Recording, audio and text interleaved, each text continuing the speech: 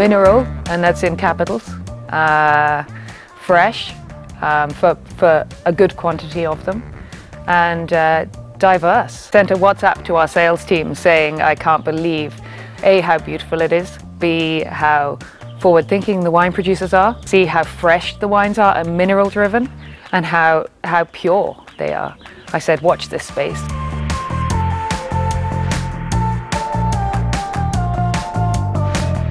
More varied than expected, and uh, distinctive, um, and uh, good value.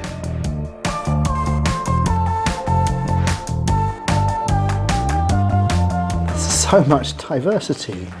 It's easy to just think of Roussillon as one place, but actually within here you have everything from the various different Côte de Roussillon villages, and we saw the differences within those. One big thing for me was white Collioure today, fantastic, really saline, really fresh, uh, grapefruit pithy, um, not fat, not rich, not hot.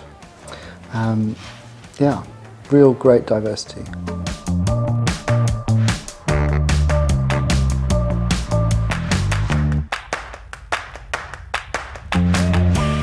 First of all, the freshness. There's a lot of freshness in these wines. The acidity is there, and a lot of it's coming, I think, from the limestone soils as, as well as the schist.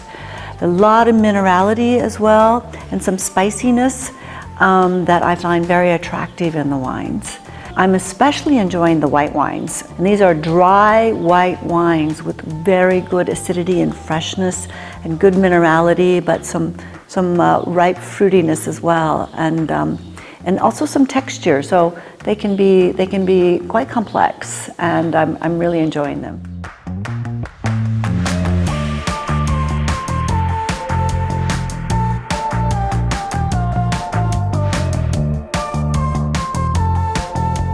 Range of um, rich, uh, ripe, but very, very fresh wines. Um, and that is equally true for white wines as it is for red wines. A territory to explore uh, if uh, you like your wine to have flavour, but you also like your wine uh, to have freshness and lift.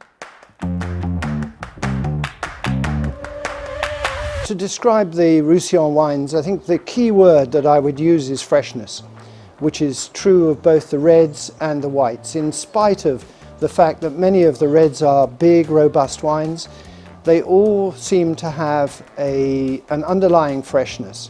The different reds, you know, Syrah um, and Mourvèdre, uh, which in other parts of the world can be very heavy and rather, rather um, cloying. Here they have this innate freshness.